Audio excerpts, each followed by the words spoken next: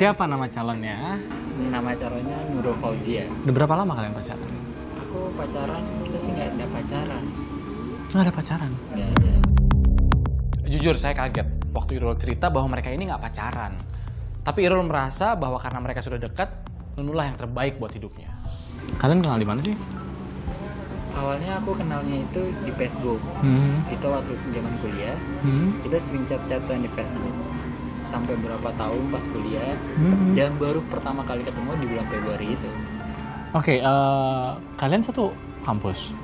Saya satu kampus, Hmm. cuman nggak pernah ketemu tatap muka, tapi chatan doang di. Jadi Irul ketemu sama Nurul ini bukan di kampus, tapi di Bukan. sosial media. Iya. Padahal satu kampus. Dan ternyata baru tahu kalau kalian berdua satu satu kampus. Saat kita tahu satu kampus, Oh, oke. cuma kita nggak pernah janjian kita Hmm. ketemuan ini, ini, ini. Apa yang bikin lo yakin?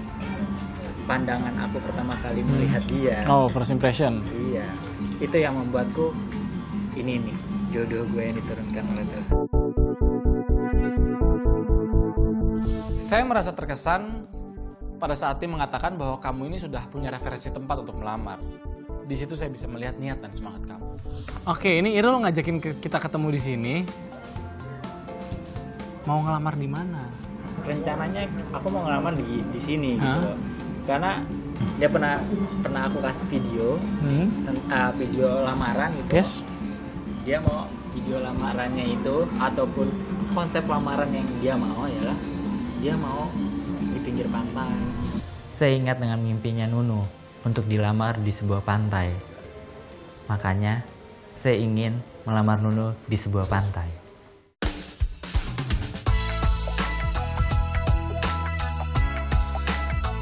Oke, di sini Rul. ya Tapi- di sini Kalau pantainya sih oke ya, tapi di depan kita ini ada pasir nih. Ini semacam kayak mau direklamasi ya, atau gimana nih? Eh, gimana Ge? Kalau untuk konsep pantainya sih oke ya Kak Temi. Tapi Hmm. kalau ngeliat looknya kayak gini, Mungkin nggak nih naik ke atas sini? coba kita coba Mungkin aja kita cek. lihat Situ yuk.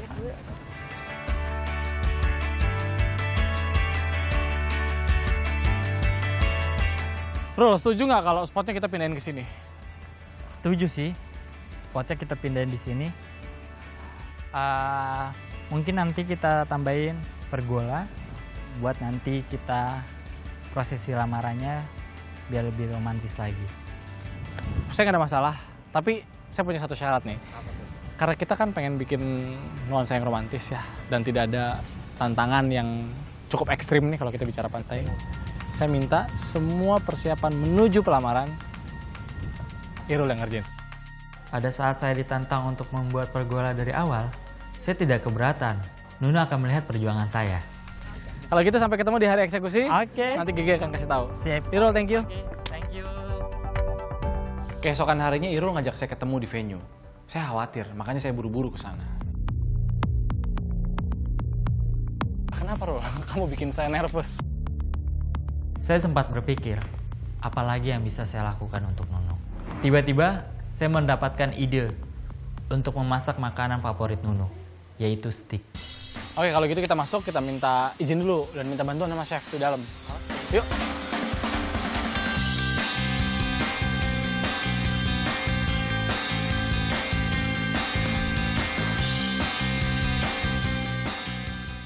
Jadi gini Pak, Irul ini mau ngelamar. Oh, ngelamar Nah, sih.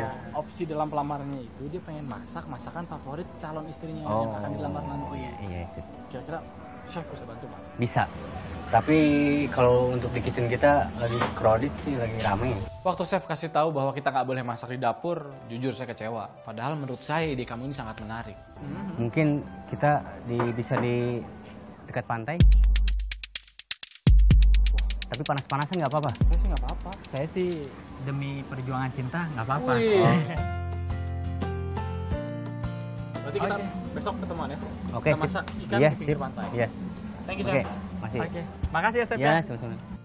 Walaupun masih pagi, cuaca di sekitar pantai sangat panas. Tapi itu tidak menyurutkan semangat saya untuk membuat pergola.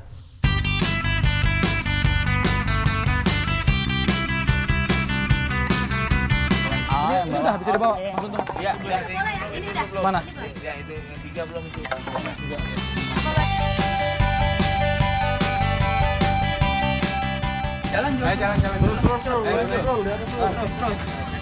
Aduh, kasih Mas Ari, punten kasih Mas Ari. Pada saat saya mengias pergola, tiba-tiba ada seseorang yang membawa properti. Saya kaget.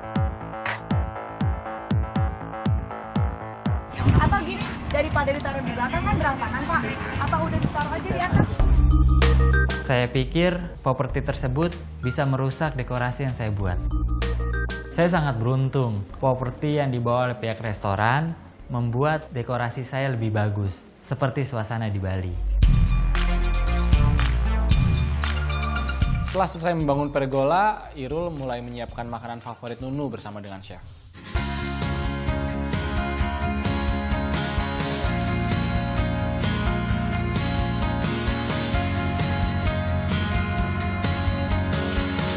Bisa ya chef ya? Kita mau bikin stick berbentuk hati. Silahkan langsung diajarin.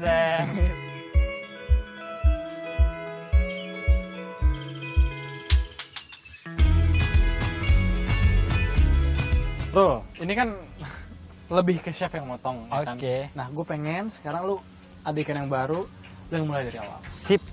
Oke, siap? Oke. Ada chef ikannya? Oke, oke ada. Boleh, siap. Namanya ini kita tukar ikannya. Lu wah, lebih segar nih Kayak ikannya. ya. Oke, Sep. Di sini salah Oh, pantesan. Sep. Pantesan, Sep ya.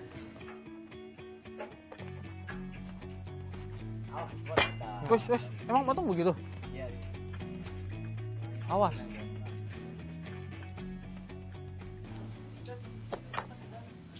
Ya, kok begitu? Oh, gitu, Sep. Kalau cara miripnya gini nih, kan gini. Masih begini, Hmm. dari sini ke sini, set. Baru potong ini. Takutnya kena ini. Saya kaget, Tem. Ternyata memotong ikan dan membentuknya seperti hati itu tidak gampang.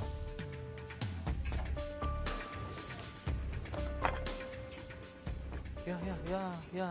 Hancur, Sep. Ketika semua tim sedang melakukan latihan, tiba-tiba kamu kasih kabar bahwa Nunu sama teman-temannya sudah berangkat menuju venue. Kita semua benar-benar panik karena pada saat itu rehearsal belum selesai. Di posisi posisi posisi posisi posisi posisi.